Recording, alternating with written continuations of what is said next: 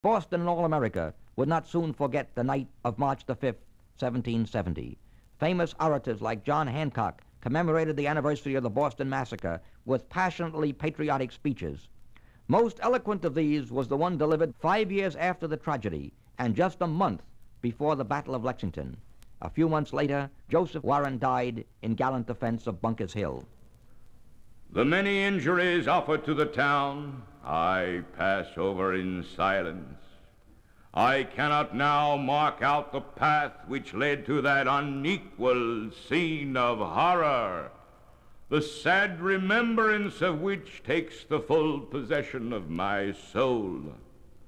The sanguinary theater again opens itself to view. The baleful images of terror crowd around me and discontented ghosts with hollow groans appear to solemnize the anniversary of the 5th of March. Approach we then the melancholy walk of death.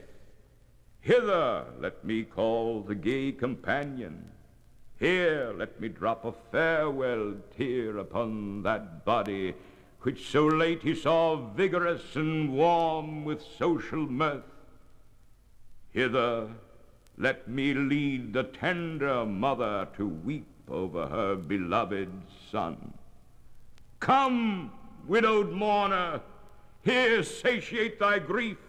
Behold thy murdered husband gasping on the ground, and to complete the pompous show of wretchedness, bring in each hand thy infant children to bewail their father's fate.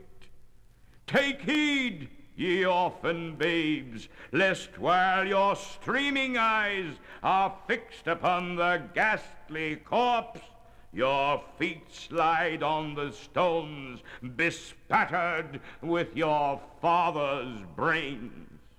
What wretch has dared deface the image of his God? Has haughty France or cruel Spain sent forth her myrmidons? Has the grim savage rushed again from the far distant wilderness? Or does some fiend, fierce from the depth of hell, with all the rancorous malice which the apostate damned can feel, twang her destructive bow and hurl her deadly arrows at our breast? No, none of these.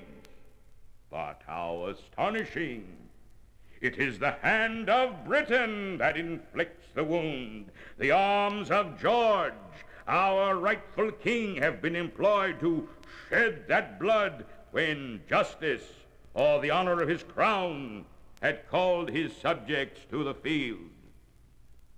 Our streets are again filled with armed men. Our harbor is crowded with ships of war. But these cannot intimidate us. Our liberty must be preserved. It is far dearer than life. We hold it even dear as our allegiance.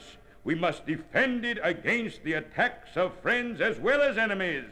We cannot suffer even Britons to ravish it from us. Our country is in danger, but not to be despaired of. Our enemies are numerous and powerful, but we have many friends determining to be free, and heaven and earth will aid the resolution. On you depend the fortunes of America. You are to decide the important question on which rests the happiness and liberty of millions yet unborn. Act worthy of yourselves. The faltering tongue of hoary age calls on you to support your country. The lisping infant raises its suppliant hands imploring defense against the monster slavery. Your fathers look from their celestial seats with smiling approbation on their sons who boldly stand forth in the cause of virtue, but sternly frown upon the inhuman miscreant who to secure the loaves and fishes to himself would breed a serpent to destroy his children.